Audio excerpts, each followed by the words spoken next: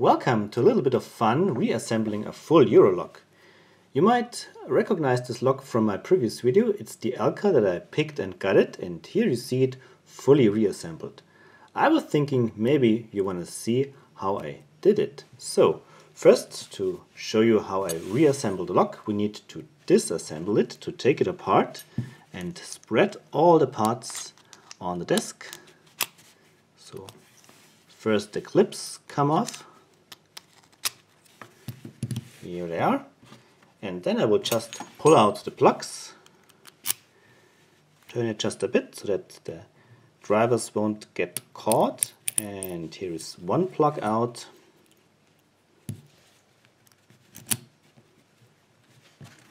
It's a bit tricky here with the cam.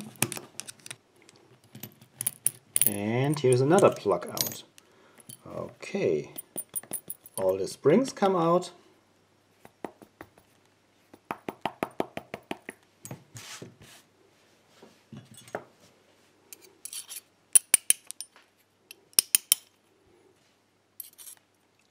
Okay, so here's the mess complete. We have the housing, we have the plugs, we have the two connection elements that go at the end of the plug, we have the two clips, we have the cam, we have springs and pins. Alright, let's sort them first.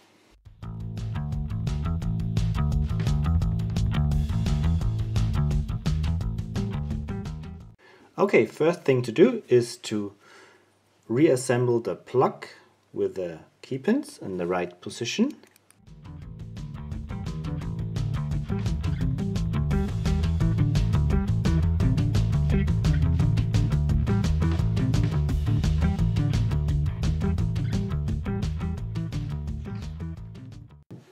Okay, both plugs are reassembled.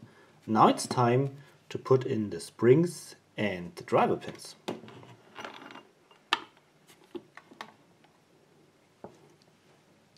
Therefore I use my plug follower, push it in on one side and reassemble the other side.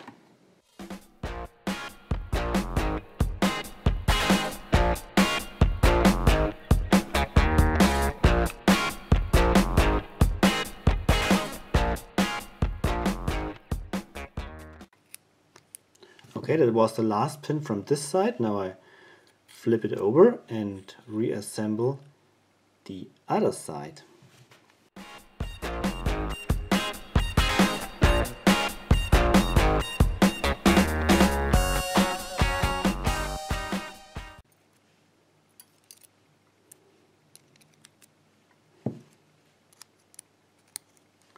So, both sides of the Eurolock are reassembled with pins and uh, springs.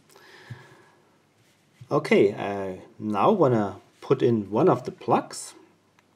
The key pins are all aligned correctly or positioned correctly. Looks all right. I will push in this connection element and when I push it in it is flush with the plug so I can push this close to the uh, to the plug follower and when I push it in I make sure that there is a solid piece of the plug um, at the place where the driver pins are so that the driver pins won't fall in a in a gap. So zoom in.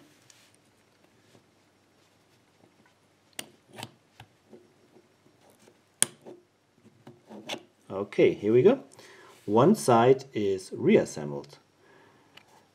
Now comes the tricky part. I need to place the cam in between. Therefore I pull out the plug follower a little bit and push the plug also a little bit inside so there's just enough room for the cam to go inside. Now I push back the plug and turn the cam. You can see it has already engaged. Now I can turn the um, the plug so that it won't come out by its own. I just use the key to turn the plug. Alright, so this will not come out again by its own. What I have to do now is to reassemble this side with the uh, remaining plug and therefore I turn my follower so that this slot here is aligned with the driver pins and then my pinning shoe comes into play. Looks like this and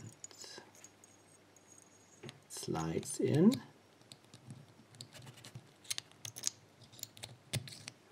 Over the driver pins, now I can pull out the follower. You can see how it is nicely held down by the needle.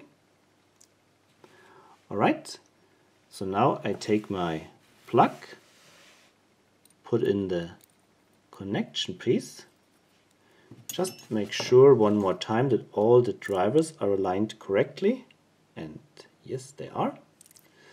Okay, now I can carefully push in the plug. Oops, you can see there's a little slot here at the bottom that allows me to go over the needle of the pinning shoe.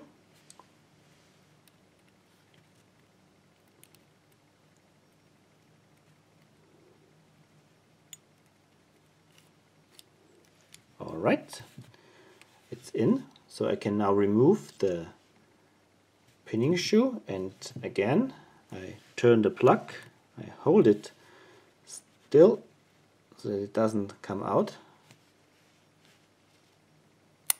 and it's done. So both sides are reassembled with the plugs and the cam is working. What is left to do is to put in the clips. These are spring clips, so it's very easy. Just need to knock on them. One is in and the other one should be easy as well. Okay, so here we go. Lock is fully reassembled and hopefully functioning. Works and works as well. So that was a very easy Eurocylinder to reassemble.